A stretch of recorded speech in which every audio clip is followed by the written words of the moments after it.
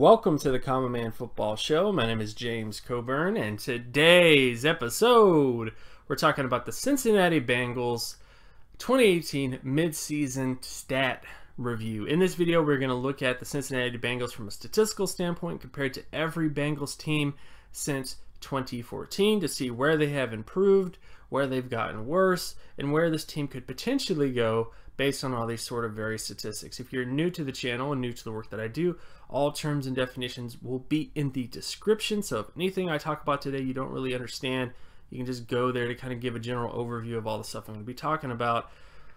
So let's start with the Bengals. So this year, offensively, is not that bad. Uh, they have a 76.46 turnover ratio on offense, which is better from last year.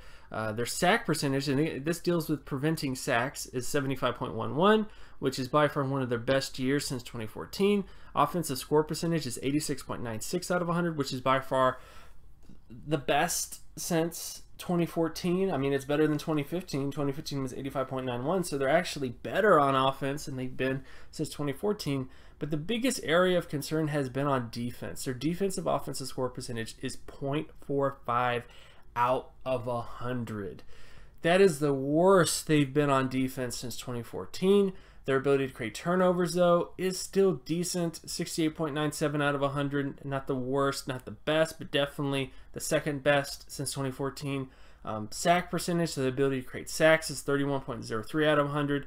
Not as great as they were in terms of 2017 definitely below average, but definitely not the worst. Interception percentage is 51.12 out of 100.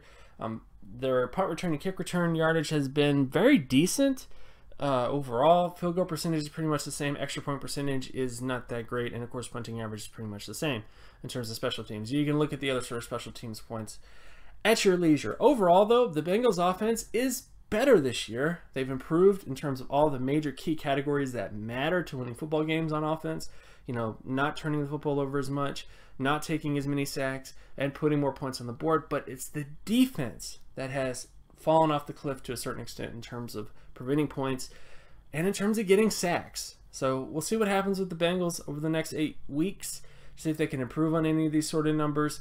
But that is how things stack up so far for this Bengals team. It is it is a offensive driven Bengals team, uh, and they are not quite to 2015 level uh, because 2015 was a great balance of preventing points and scoring points. But I definitely think this this team does have a chance to enter the playoffs if they can just get a little bit better on defense and continue to have offensive support. Losing AJ Green, I think, will affect these numbers, especially over the course of the next couple weeks if, if he's gone. But we'll see what happens overall. But this Bengals team is better from an offensive perspective.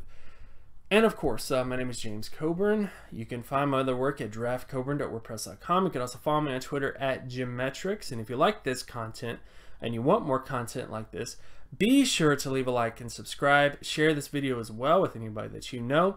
Uh, hit that like button and subscribe as well if you want more content. And I'll talk to you guys in the next video.